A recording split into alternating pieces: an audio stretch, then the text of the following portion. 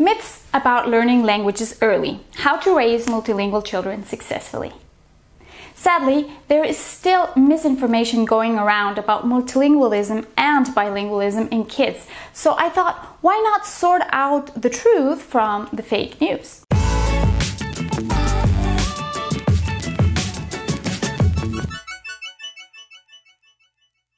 Hello everyone, welcome to Multilingual Family, a vlog for cosmopolitan people like you that helps you raise your multilingual child successfully. Please consider subscribing to this channel and my mailing list for free content. Multilingualism causes speech delay and confusion. Monolingualism is the norm. Code switching is always bad.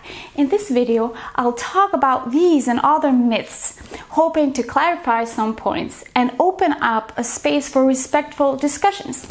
Let me know what you think after watching this content in the comment section. Myth number one Monolingualism is the norm. This is simply wrong. Over 50% of the Earth's population grows up already learning more than one language. And as our planet becomes more globalized, the number of intercultural couples and families grow as well. The mixture of culture is rising, and children that have relatives spread around the globe is becoming rather normal. I think we are moving from being citizens of individual countries to becoming world citizens and this process seems unstoppable to me. Myth number two monolingualism causes speech delay. Honestly, when I was pregnant, I feared this assumption.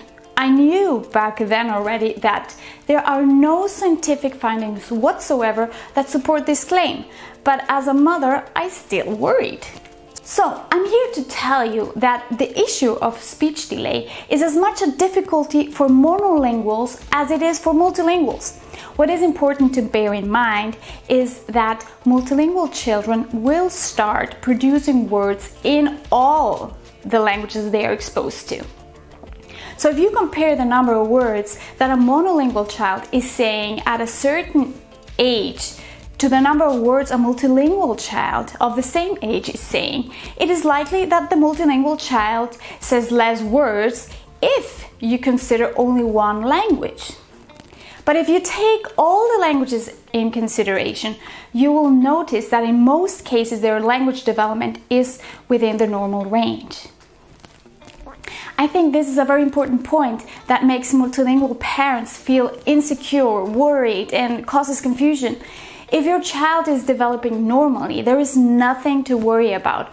Just trust your child's potential and focus on exposing your multilingual child to as much quality language input as possible because the amount of language exposure you give to your child will determine how fast he or she will reproduce phrases and how rich his or her vocabulary will be. Myth number three Multilingual children are confused. This is probably the myth about multilingualism that bothers me the most. Why? Because it's so wrong. But yeah, I get it. I understand why people that are not experts in this field would think that. They see multilingual children mixing languages, and to them, it's probably a sign of poor language skills. Once you start analyzing what these kids are saying in depth, you can often see that they use all their brain power to communicate as efficiently as possible using their whole language repertoire. So, it's not that the multilingual child is confused, but rather that the unexpert listeners cannot follow what the multilingual child is expressing. I showed a video with concrete examples that will show you in detail what I mean when I say that multilingual children are everything else but confused. Check out the video above after watching this video to learn more about it. Please give me a like and let me know what you think in the comment section. Number four, young children soak up languages like sponges.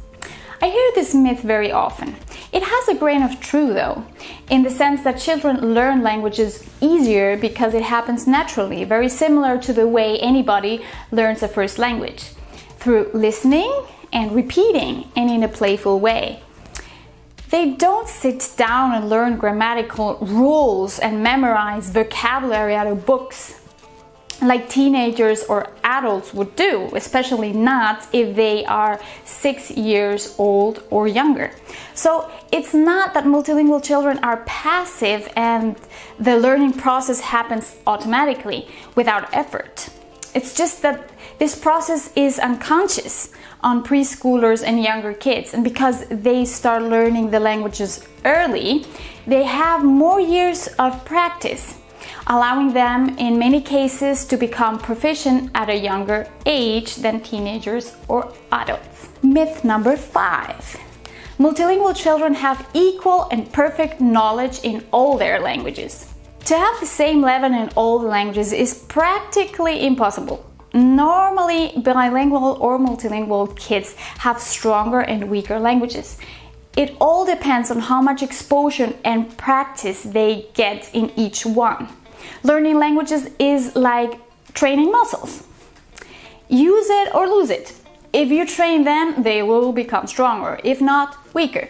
So it's a dynamic process that can change multiple times throughout a person's life. In my case, for example, my strongest language was for about 20 years Spanish, although I grew up simultaneously bilingual or trilingual if you also count Swiss German.